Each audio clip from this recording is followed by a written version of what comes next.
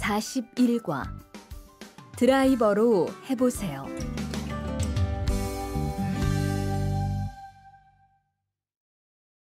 대화 1 망치가 아무리 찾아도 없네. 민수 씨, 망치 못 봤어요? 공구함에 있을 거예요. 찾아보세요. 공구함에 없어서요. 못을 좀 박아야 하는데. 어디 좀 봐요. 그거 나사못이네요. 나사못이라면 드라이버로 해보세요. 그게 더 편할 거예요. 자, 여기요. 어, 고마워요. 다 쓰면 공구함에 잘 넣으세요. 대화 2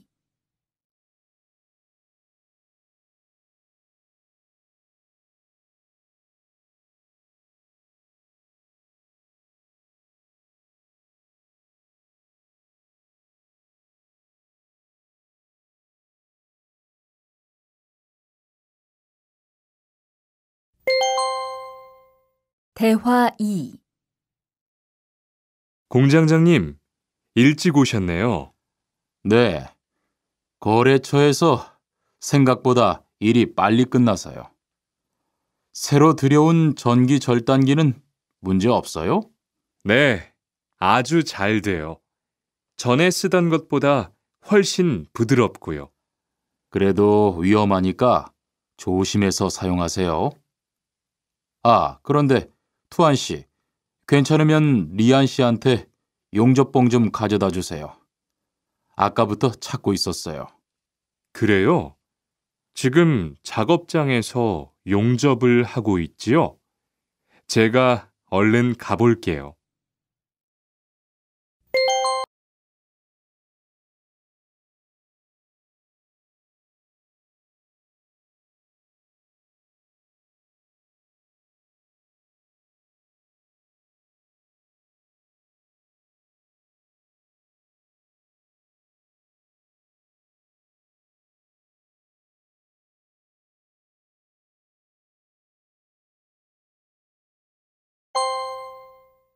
.41과 EPS 토픽 듣기 1에서 2번 다음 그림을 보고 알맞은 대답을 고르십시오. 1번 이것은 무엇입니까? 1, 밴딩기입니다. 2, 절단기입니다. 3, 용접기입니다. 4, 호이스트입니다. 2번 지금 무엇을 하고 있습니까? 1, 자르고 있습니다. 2, 용접하고 있습니다. 3, 못을 박고 있습니다. 4, 구멍을 뚫고 있습니다. 3번 질문을 듣고 알맞은 대답을 고르십시오. 이 드라이버를 리한 씨한테 좀 갖다 주세요. 4에서 5번 하나의 이야기를 듣고 두 개의 질문에 대답하십시오. 지금 뭐 하고 있어요? 펜치로 철사를 구부리고 있어요. 펜치로 하면 힘드니까 플라이어로 해보세요. 이걸로 하면 힘도 별로 안 들고 일도 빨리 끝낼 수 있어요.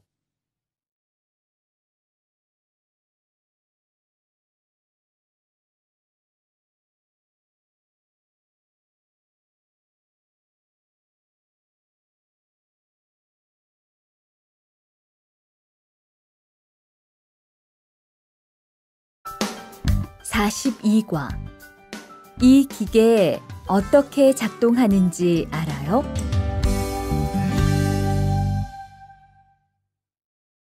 대화 1 바루 씨, 오늘은 이 기계로 목재 자르는 일을 해야 돼요. 그래요? 민수 씨는 이 기계 어떻게 작동하는지 알아요? 전 이걸 써본 적이 없어서요. 자, 이렇게 하면 돼요. 먼저 손잡이에 있는 안전 스위치를 누르세요. 그리고 이 전원 스위치를 올리면 기계가 작동하기 시작해요. 이렇게.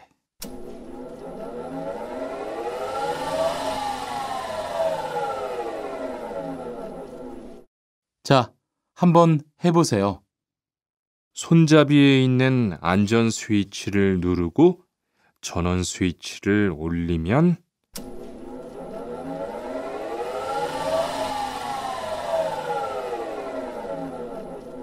아, 되네요.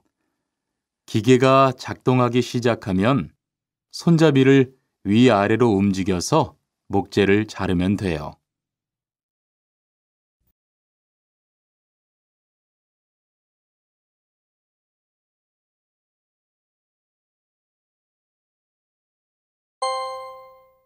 대화 2. 오늘 작업은 얼마나 진행됐어요? 오전에는 골판지 자르는 작업을 끝냈고요. 오후부터 접고 붙이는 작업을 하고 있어요. 그러면 6시까지는 주문받은 상자를 완성할 수 있을 것 같아요. 골판지는 충분해요? 어제 작업 끝난 후에 보니까 얼마 남지 않았던데요. 네. 지난주에 주문한 골판지가 오늘 오후에 도착할 거니까 문제 없을 것 같아요.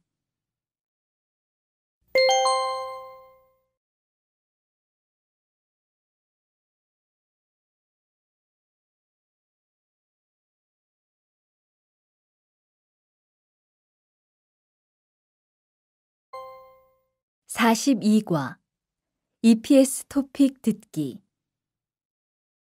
1에서 2번 들은 것을 고르십시오. 1번 지금 상자를 접고 있지요? 네, 지금 작업 중이에요. 2번 어떻게 하면 작동해요? 여기를 누르면 돼요. 3에서 4번 질문을 듣고 알맞은 대답을 고르십시오. 3번 이 기계 어떻게 사용하는지 알아요? 4번 상자 제작은 다 끝났어요? 5번 이야기를 듣고 질문에 알맞은 대답을 고르십시오. 여기가 다음 주부터 일하게 될 작업장이에요. 이건 리안 씨가 사용할 밴딩기고요. 어떻게 사용하는지 알지요? 네, 어제 배웠습니다. 전에 다른 공장에서도 사용해 봤고요. 그럼 잘하시겠네요. 먼저 여기 있는 안전 스위치를 내린 후에 사용하세요. 네, 알겠습니다.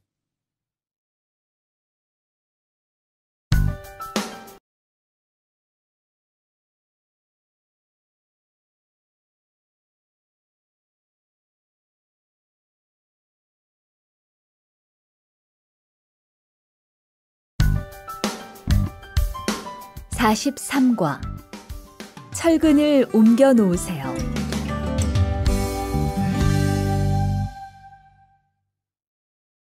대화 1 여러분, 지금부터 오늘 해야 할 작업을 알려드리겠습니다. 오늘은 거푸집을 설치하고 철근을 조립하는 일을 할 겁니다.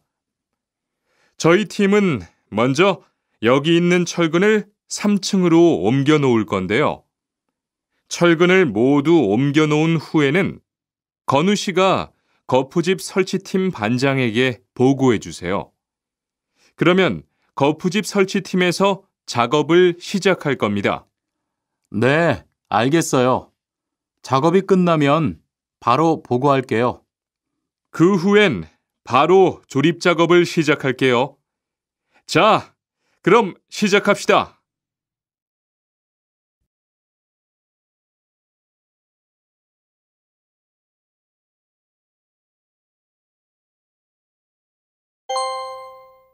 대화 2 모니카 씨, 내일 오전에 납품할 물건 포장은 다 끝났지요? 네, 대리님. 크기별로 분류해서 따로 포장해 놓았어요. 한번 확인해 보시겠어요? 좋아요. 같이 가봅시다. 음, 대자가 30박스, 중자가 40박스. 어? 그런데 소자가 왜 30박스밖에 안 돼요? 네? 서른 박스 아닌가요? 여기 주문서에 32박스라고 되어 있잖아요. 가서 물건 있는지 빨리 확인해 보세요.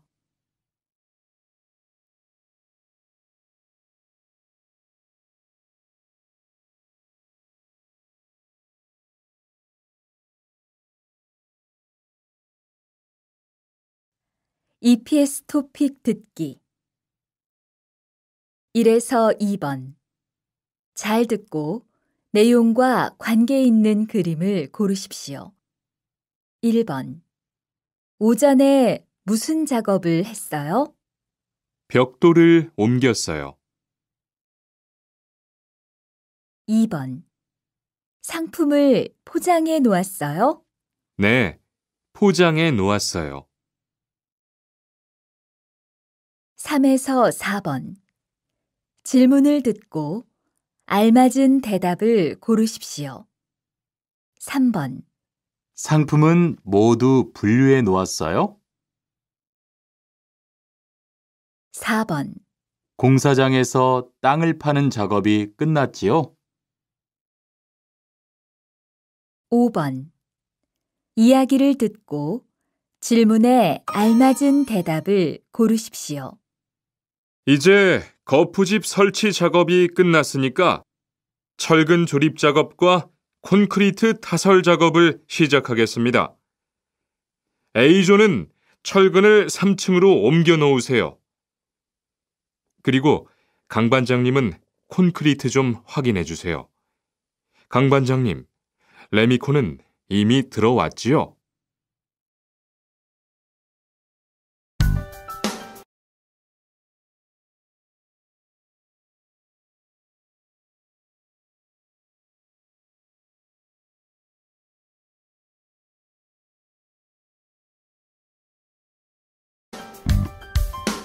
사십사과 페인트 작업을 했거든요.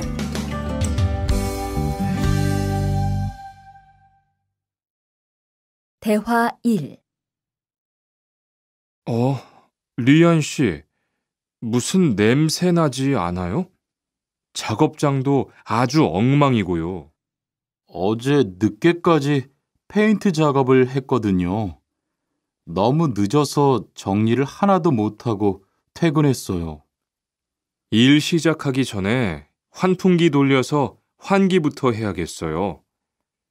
리안 씨는 작업 도구 먼저 정리해 주세요. 작업 도구는 쓰고 나서 바로바로 정리해야 해요. 안 그러면 나중에 못 쓸 수도 있거든요. 네, 제가 얼른 치울게요.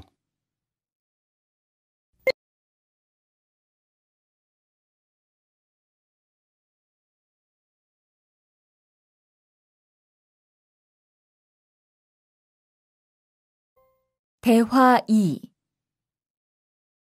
매일 치워도 이렇게 분뇨가 쌓이니까 치우기 너무 힘들지요? 좀 힘들기는 한데요. 그래도 하루라도 안 치우면 너무 지저분해지잖아요. 맞아요. 그런데 사모님, 어제 보니까 분뇨 버리는 곳에 다른 쓰레기도 많던데 따로 분리해서 버려야 하는 거 아니에요? 안 그래도 사장님이 폐기물 처리하는 것 때문에 시청에 가셨어요.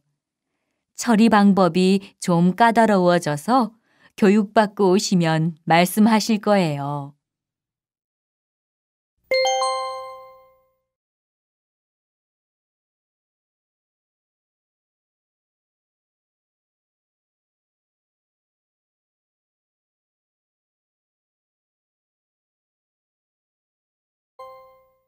44과 EPS 토픽 듣기 1에서 2번 들은 것을 고르십시오. 1번 폐수를 여기에 버리는 거예요? 네, 여기가 폐수를 버리는 곳이에요. 2번 작업장이 더러워요. 그렇죠? 너무 지저분하네요. 3에서 4번 잘 듣고 내용과 관계 있는 그림을 고르십시오. 3번 사다리가 있으면 올라갈 수 있겠네요. 사다리요? 저기에 있네요. 4번 지금 뭐 하고 있어요? 냄새가 나서 환기하고 있어요. 5번 이야기를 듣고 질문에 알맞은 대답을 고르십시오. 오늘 교육 시간에는 지난주에 이어서 작업장 정리가 왜 필요한지 설명하겠습니다. 우선 정리를 잘하면 안전사고를 예방할 수 있고 물건의 낭비를 줄일 수 있어요. 그리고 제품을 잘 관리하니까 품질도 좋아지고요. 무엇보다 기계를 오랫동안 잘 사용할 수 있어요.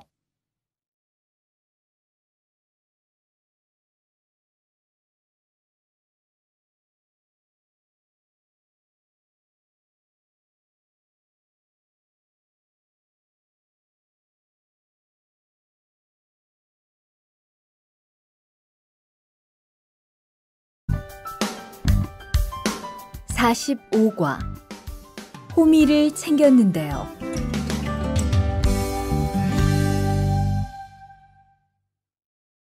대화 1 리리 씨, 괭이 챙겼어요? 괭이요?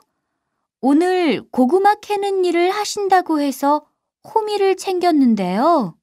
오늘 일할 밭은 너무 딱딱해서 호미로 하기 힘들어요. 그리고 괭이로 고구마를 캘 때는 호미로 할 때보다 고구마에 상처가 나기 쉬우니까 조심해야 돼요. 그렇군요. 그럼 창고에 가서 얼른 가지고 올게요.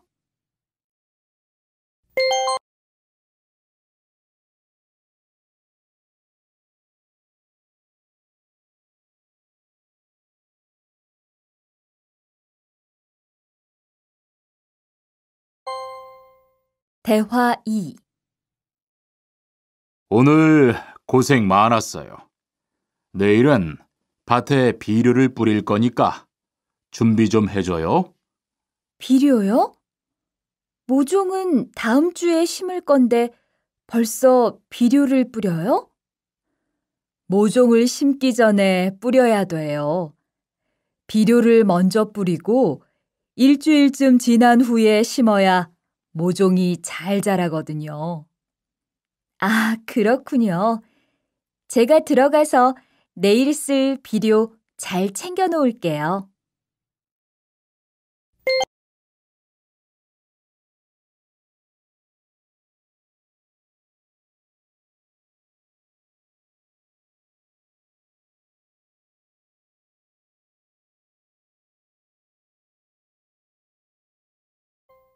사십오과 EPS 토픽 듣기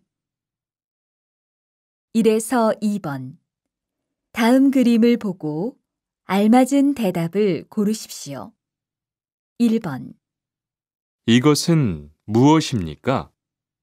1, 경운기입니다. 2, 손수레입니다. 3, 콤바인입니다. 4, 트랙터입니다. 2번 이 사람은 무엇을 합니까? 1, 걸음을 주고 있습니다. 2, 농약을 치고 있습니다. 3, 모종을 심고 있습니다. 4, 벌레를 잡고 있습니다. 3번. 이야기를 듣고 질문에 알맞은 대답을 고르십시오. 밭에 물을 좀 줘야 하는데요. 창고에 호스가 없네요. 아, 조금 전에 아주머니가 과수원에 물을 주려고 가지고 갔어요. 그래요?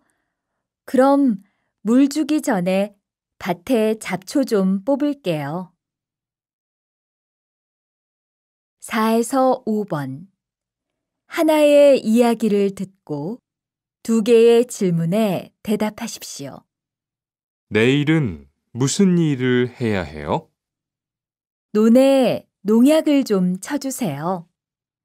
네, 그럴게요.